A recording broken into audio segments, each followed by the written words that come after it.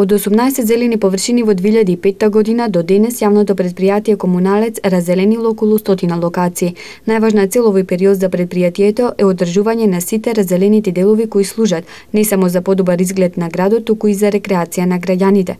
Одржувањето, односно наводнувањето, ќе се настојувало да биде со подземна вода, односно со бунари, и со технолошка вода, иако воспоставувањето на тој систем за наводнување одело со побавно темпо од планираното, велат надлежните. Има наводнување капка по капка, али тоа не е проблем ни да спроведиме тој систем на наводнување, него проблем е на, да се донеси вода, технолошка вода, бидејќи систем во Стрежево, навистина од овие градските паркови малце подалеку, ние сме размислувале за тоа, сега за сега не можам да ви кажам кога тоа ќе остави во функција, но нашите размислувања се дека користењето на технолошката вода системот Стрежево е најефикасно и за нас е најефтино. За одржување на зелените површини, исто така јавното предпријатие ја обновило механизацијата. Истото тоа го направило и за возниот парк за одржување на чистотата во градот. Собирањето, транспортирањето и депонирањето на комуналниот отпад го извршуваме со 17 возила.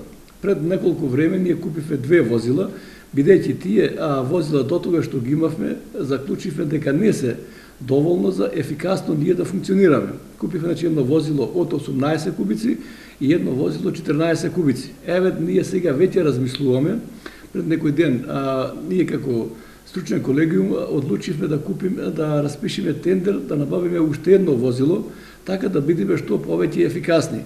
Од комуналец вела дека се почесто се работуваат со руралните средини за и оттаму да го собираат комуналниот отпад.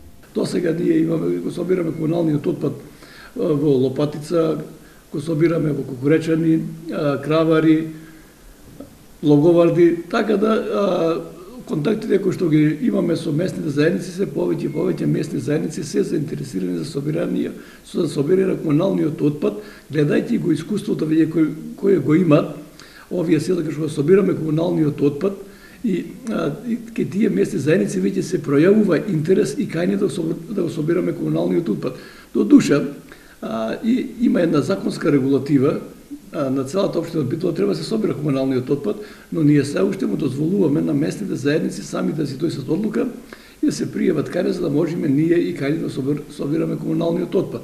Во руралните средини предпријатието исто така настојувало да облагороди зелени површини, кои ги адаптирало и како детски паркови.